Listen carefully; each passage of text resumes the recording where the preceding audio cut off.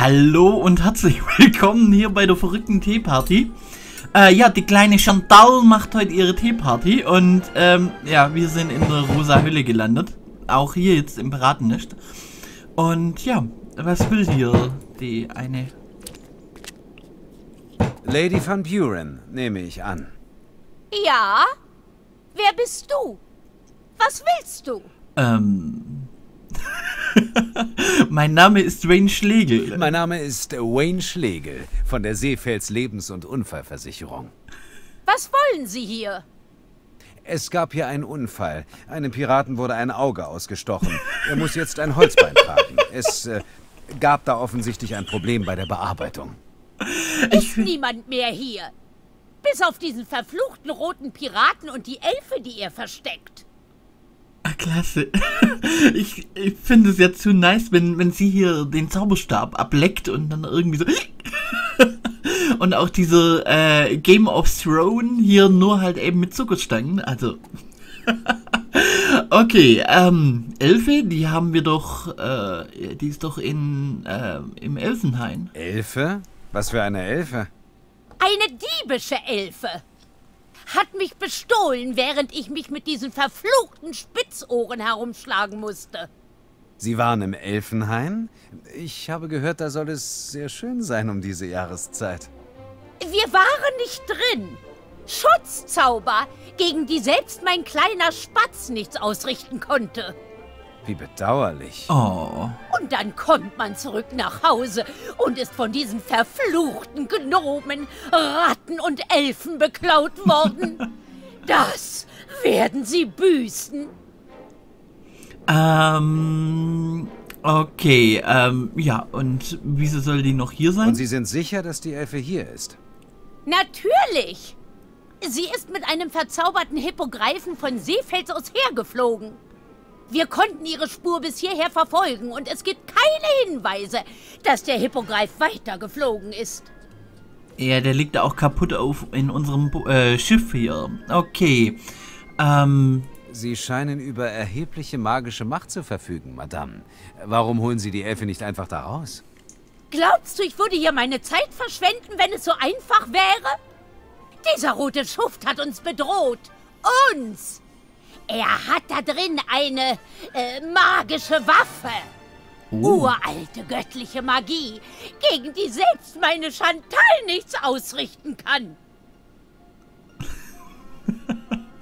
ähm, Vielleicht könnte ich reingehen und mit dem roten Piraten sprechen. wir brauchen ja neue Ich bin Aufgaben. Versicherungsmakler. Niemand würde es wagen, einem Versicherungsmakler etwas zu tun. Das ist wahr. Und jede Stunde, die ich hier vergeude, kann ich mich nicht um die Umgestaltung des Landes kümmern. oh, noch Geh mehr? rein. Überzeuge diesen alten Halunken. Okay, äh, jetzt können wir zum Schluss noch hier ein bisschen rumschleimen, oder? Oh, da bin ich gespannt, gerade mit der James Bond Stimme. Beeindruckend, was Sie aus dieser Insel gemacht haben, Lady Van Buren. Genau wie in Seefels. Sie und Ihre Tochter sind wahrlich ein Gewinn für das Land. Oh, nun, ich danke Ihnen. Als Politikerin erhält man viel zu selten den Dank, der einem zusteht. Jahrelang arbeitet man unermüdlich für sich und seine Freunde. Und danken es einem die Wähler? Nein. Ach, schlimm. Ganz schlimm. Dann darf ich mich entfernen, Lady Van Buren. Ja, ja. Oh! Den Satz wollte ich schon immer mal von James Bond hören. Oh mein Gott. Und unsere Ursula von der Buren. Ah. Ähm, ja. Auch wenn sie hier ihren Hund schlägt, das ist, ja, ihren Bettverleger, das ist, ja, echt klasse. Okay, schauen wir uns mal hier ein bisschen um. Das ist falsch. Beeindruckend, aber falsch. Ah, Überall die Herzchen. Das sieht aus wie bei der Herzkönigin. Vor allem hier diese, diese, diese Halbtee-Party. Oh mein Gott. Aber hier haben wir noch ein paar Leckereien. Vielleicht Eine ungesunde, künstlich aussehende, übersüße, fettige Parodie von Nahrung. Großartig. Ah, dann nehmen wir uns was. Komm. Mmh. Was tust du da? Ich ähm, bewundere die feinen Leckereien. Die sind nicht für dich. Die sind für meine Gäste. Wenn du mitmachen willst, muss ich dich erst hübsch machen. Äh, nein, nein, äh, kein Problem. Ich lasse einfach meine Hände vom Essen deiner Gäste. Entschuldigung. Okay, ähm, was haben wir denn noch? Wir haben hier den gedeckten Tisch, da können wir rübergehen. Es ist alte Kindermagie, dass sie erwachsene Männer dazu zwingen können, sich an winzige Tische zu setzen und so zu tun, als würden sie Tee mögen. Zum Glück bin ich dagegen immun. ja. Als Ivo mir vom verwandelten Seefels erzählt hat, konnte ich es kaum glauben. Selbst wenn im Stab der Kleinen die Macht ihres Hexenmeister-Opas konzentriert ist, woher hatte er all diese Macht? Ähm, ja, das haben wir. Das ist die drittgrößte Blüte, die ich jemals gesehen habe. Ach, ihr könnt... Die Blüte ist zu schön und sie riecht zu gut, als dass man sie einfach in Ruhe lassen könnte. Oh. okay, äh, hier haben wir... nicht viel von der Magie der Kleinen verschont geblieben. Der Hammer ist eines der wenigen Beispiele. Ah, dann nehmen wir den gleich mit. Komm, geht. Da wird sie uns hoffentlich nicht verzaubern. Und hier sind noch ein paar bunte Tücher. Bunte Tücher. Sie scheinen keinen bestimmten Zweck zu erfüllen, außer bunt zu sein. Können wir auch mitnehmen. So. Was haben wir noch? Äh, hier gibt es wohl nichts mehr zum Tun. Deswegen schauen wir mal hoch zum Spanner Joe. Was der denn für uns Schönes hat. Nur noch ein Stück, nur noch ein kleines Stück und du hast es! Hey, Vierauge. Nate, schön dich wiederzusehen. Bitte. Wie ich dich kenne, hast du mich nie aus den Augen verloren. Dein Leben war im letzten Jahr nicht uninteressant, das muss ich zugeben. Gute Staffel.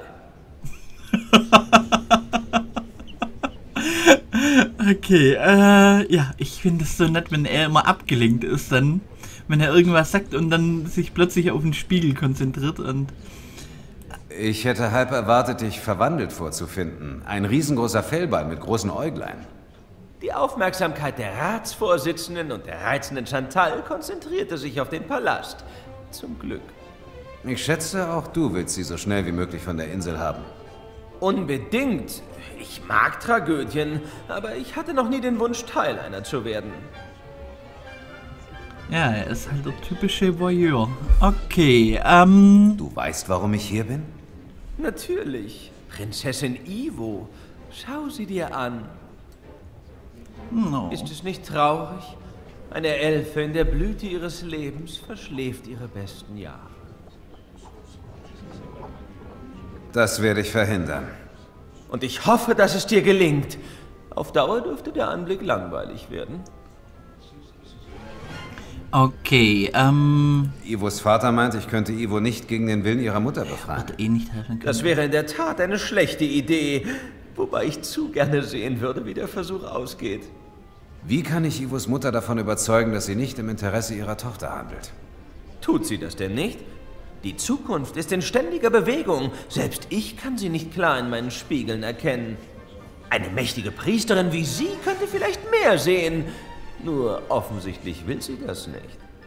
Sie hat keinen Zweifel daran, dass Ivo ihr Leben weggeworfen hat. Sie hält es für unmöglich, dass sie mit einem Kind glücklich werden könnte. Oder mit mir. Eine schwierige Aufgabe, die du... Oh, oh, komm schon, Nummer drei. Lauf, komm! Ja, ja, Sundance hat gewonnen! ähm... Ivos Schwangerschaft. Weißt du, wer... Naja, Ivo meinte, du seist nicht der Vater. Aber wer ist es dann? Das frage ich dich. Du bist das Orakel mit den 100 Augen. Augen, die blind sind, solange keine spiegelnde Oberfläche in der Nähe ist. Ivo schien selbst recht überrascht von der Neuigkeit. Sie sprach von einem Fluch, der sie getroffen haben könnte. Ein Fluch, na klar. Ähm. Kann ich den Spiegel da haben? Wahrscheinlich nicht. Selbstverständlich nicht. Aber dann könnte ich immer einen Blick auf Ivo werfen. Und vielleicht ist er auch noch für etwas anderes gut. Er ist dafür gut, dass ich sehen kann, wie die Geschichte weitergeht. Abgesehen davon habe ich noch nie einen meiner Spiegel hergegeben. Es sind Sammlerstücke. Du sammelst Spiegel? Okay. Ich ziehe die Frage zurück. Okay, ähm, Ich muss wir kriegen weiter. ihn eh nicht. Aber schauen Ja, wir nur uns, zu, hinfort. wir schauen uns trotzdem noch mal hier ein bisschen um, ob es hier noch irgendwas Interessantes gibt. Einige glückliche Kinder, die in einem Garten spielen. Ivos Mutter will nicht wahrhaben, dass auch Ivos Kinder eine glückliche Zukunft haben könnten. Wen kümmert es schon, dass die zukünftige Königin ein uneheliches Kind hat? Naja, außer mich. Aber das hier sieht doch aus wie so eine altägyptische, also wie Lorem Ipsum, so wie ich es mir vorstelle, oder? Okay, Einige Spiegel zeigen laufend unterschiedliche Szenen. Andere zeigen immer dasselbe. Die Verbindung zweier Spiegel ist manchmal stärker und manchmal schwächer. Dieser hier hat eine besonders starke Verbindung zu dem Spiegel in Ivos Zimmer. Schau dir nur an, wie klar das Bild ist. okay, dann werde ich wahrscheinlich... Tausende Leben spielen sich hinter diesen Spiegeln ab. Tragödien, Komödien und ziemlich viel Alltag. Ja, Big Brother lässt grüßen. Äh, wollte ich gar nicht. Mea culpa. Komm schon. Ähm, ich wollte gucken, ob ich hier irgendwas kombinieren kann. Einen Spiegel zerdeppern. Nein, geht auch nicht.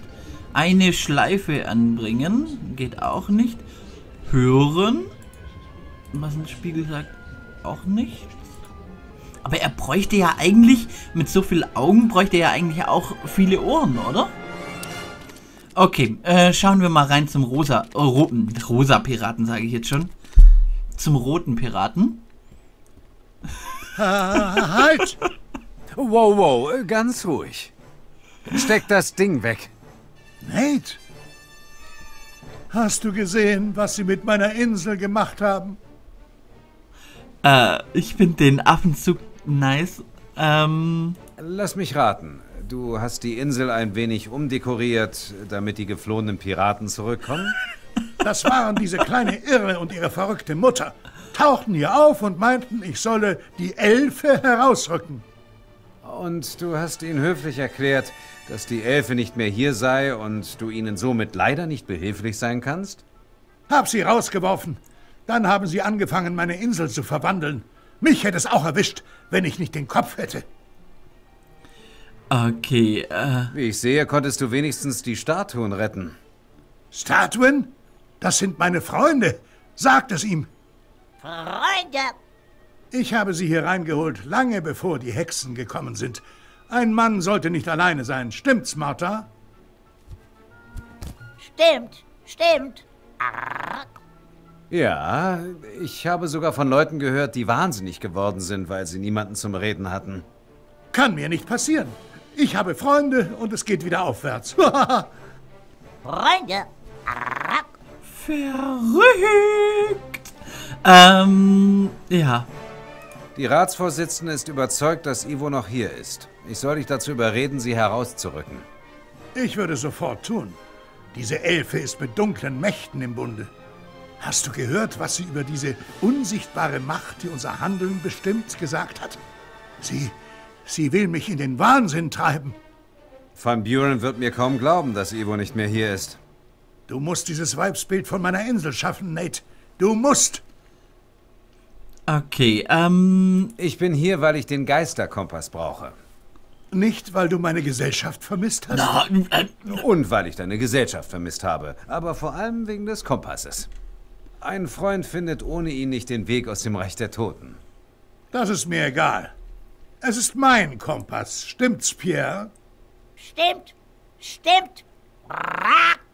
Da hörst du's. ähm, okay, die nächste Wie wär's Aufgabe. damit? Ich schaffe Van Buren von der Insel, dafür leihst du mir den Kompass. Du bekommst ihn unbeschadet zurück. Du schaffst beide weg von hier? Mutter und Tochter? Das ist der Deal. William, was sagst du dazu?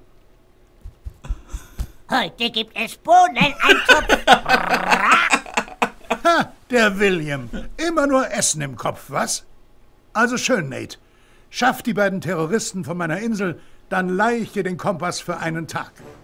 Abgemacht. abgemacht, abgemacht. Okay, ich sehe schon, wir müssen den Vogel irgendwie beeinflussen wahrscheinlich oder irgendwie, äh, ja. Ich muss weiter. Bis später.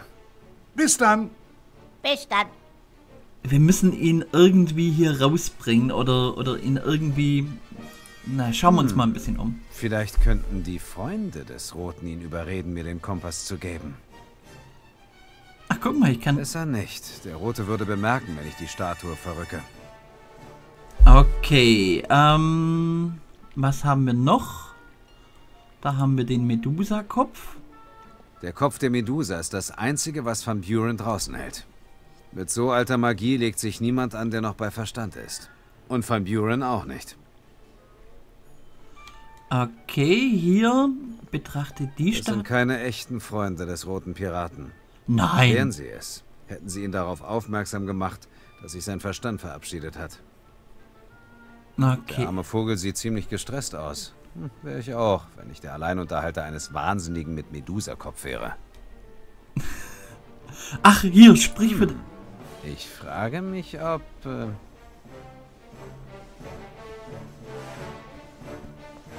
Du solltest Nate den Kompass geben. Brack. Nate, warst du das? ähm, Äh, nein. Betrüger! Betrüger! Ich meine, ähm, kein Betrüger. Brack. Ich sehe, dass du es bist, Nate. Einfach andere Leute zu imitieren. Tch. Skandal! Skandal! Der Sponge-Papagei. Ähm, was haben wir noch? Wir haben hier den Geisterkompass, den können wir auch mal anschauen. Der Geisterkompass. Er kann dem Erzmagier den Weg aus dem Geisterreich weisen. Und hier unser altbekanntes Cocktailbuch. In wenigen Büchern wird so oft nach Weisheit gesucht wie in diesen. Aber ich glaube, sie helfen nur selten. Okay, dann schauen wir mal an, was wir noch kombinieren können. Irgendjemand die Schleife aufhängt? Nein. Irgend Kämpfe mit dem Affen? Es gibt ein Sprichwort über Leute, die mit Messern an Schießereien teilnehmen. Und ich habe nicht mal ein Messer. Na okay. Ähm, Blume geht auch nicht. Ah, benutze das Dosen. Leider müsste ich die Schnur straff halten, damit meine Stimme aus der Dose käme und sie wäre dann auch zu leise. Andernfalls könnte ich so für William sprechen, ohne hinter ihm stehen zu müssen. Okay. Und irgendwie hier ein Stock in den Arsch? Nein, geht auch nicht. Brett vorn Kopf knallen? Geht auch nicht. Okay, ich glaube, dann haben wir es hier. Ich finde den Affen zu geil. Der Affe kann gegen die Magie der Van Burens nichts ausrichten. Aber mich könnte er problemlos niedermachen, wenn ich versuchen würde, den Kompass zu stehlen. Okay, dann schauen wir raus, ob wir sie irgendwie nochmal überreden können, hier abzuhauen.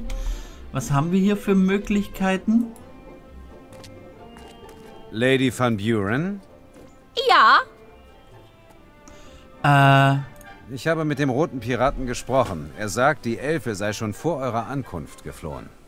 natürlich sagt er das. Aber er versteckt sie. Ich habe sie nirgendwo gesehen. Dann hast du nicht genau genug nachgeschaut. Ich will diese Elfe. Bringen sie mir. Dann darf ich mich entfernen, Lady Van Buren? Ja, ja. okay, ähm, haben wir schon geschleckt? Reden wir nochmal hier mit dem Mädchen? Hallo, schönes... Hallo, Kleine. Was willst du? Geh weg! Äh, Ich bin Nate. Du bist die Tochter der Lady Van Buren, richtig? Ja, und du bist nicht zu meiner Party eingeladen. äh, Party? Ziemlich, ähm, hübsch, was du aus der Stadt gemacht hast. Hab es alles auf meinem Buch. Und Mama sagt, ich habe künstliches Talent. Künstlerisches. Wobei, künstlich passt auch. Äh, Wär's nicht lustig, weiterzuziehen und etwas anderes zu verwandeln? Oder zurück nach Seefels zu reisen und ein Nachmittagsschläfchen zu machen? Mama sucht die Elfe, die uns bestohlen hat. Ja, aber Hast du nicht eigentlich das Sagen hier? Sag ihr doch, du willst woanders hingehen. Ich habe alles für meine Teeparty vorbereitet und die Gäste kommen bald. Aber Äh, Teeparty? eine Teeparty, hm? Ja, genau wie in meinem Buch. Ich feiere meinen Niftgeburtstag. Ich Und- habe für den TÜV, den Tee und für Leckereien gesorgt. Jetzt kommen jeden Augenblick die Gäste. Der verrückte Hutmacher und das weiße Kaninchen. Und dann krieg ich Geschenke. Äh, okay. Ich wäre gern Gast bei deiner Teeparty. Nein, du bist kein verrückter Hutmacher und auch kein weißes Kaninchen. Und du bist ein Hässlich. Na, hör mal. Ich kann dich hübsch machen. Äh, danke, danke. Äh, nicht nötig. Ähm, Und diesen Hutmacher und das Kaninchen, willst du die herzaubern? Nein, es kann nur Dinge verwandeln. Sie kommen von ganz alleine. Ich habe alles genau wie in meinem Buch gemacht. Da müssen sie doch kommen. Ich werde immer sehr wütend, wenn ich nicht bekomme, was ich haben will. Okay. Und alle müssen mir Geschenke mitbringen. Und wenn der Hutmacher und das weiße Kaninchen da sind, kommt Mutter auch rüber. Oder Mama? Was, Spätzchen? Wenn die anderen Gäste da sind, kommst du auch rüber und schenkst mir was zum Nichtgeburtstag, oder? Natürlich, Spätzchen. Sobald ein verrückter Hutmacher und ein weißes Kaninchen Oh, auftauchen, bekommst du von mir das tollste Geschenk überhaupt. Hast du gehört? Das größte und tollste Geschenk überhaupt. ich habe ein ganz schlimmes Gefühl. Und Was ist das für ein verrückter Hutmacher, den du erwartest?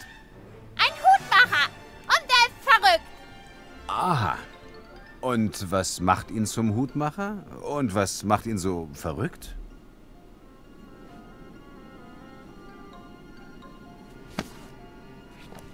Er trägt einen Zylinder und ein buntes Halstuch.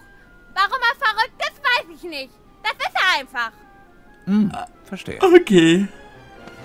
Ich habe ein ganz schlimmes Gefühl und ich sehe hier auch schon zwei. Hm, Also Hutmacher, Kaninchen. Ich habe, ich habe ne. Ein weißes Kaninchen auf einer Teeparty? Ziemlich ungewöhnlich. Findest du? Ja, und vielleicht solltest du ihm eine Uhr schenken, wenn es nicht bald auftaucht. Nein, meine Gäste müssen mir was schenken. Ich muss weiter. Ja, du verzeihst mir noch die Gäste.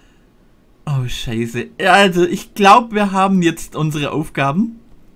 Und ja, äh, Hutmacher und Kaninchen. Oh. ja, wir haben ja schon ein buntes Tuch, haben wir ja schon. Und das kann ich ja schon anlegen gleich. Oh mein Gott.